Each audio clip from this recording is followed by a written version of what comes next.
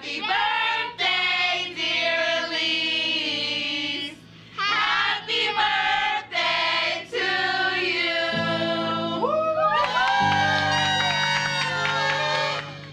The scriptures say here in Mark chapter 4, verse 15, some people are like seed along the path where the word is sown. And as soon as they hear it, Satan comes and takes away the word that was sown in them. What is wrong? Told you. We can't do this no more. See, the devil likes to use our past to distract us from what God has planned for the future. How much you had, Less than yours. Like 12 pounds. The crazy thing about it is that I love you. And you do me like this? I messed up so bad this time. Your life is not what you understand in your mind, but what you believe in your heart.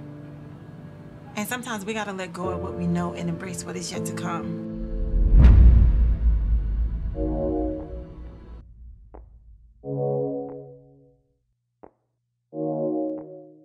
I'm going to Texas. I want you and Ryan to come with me.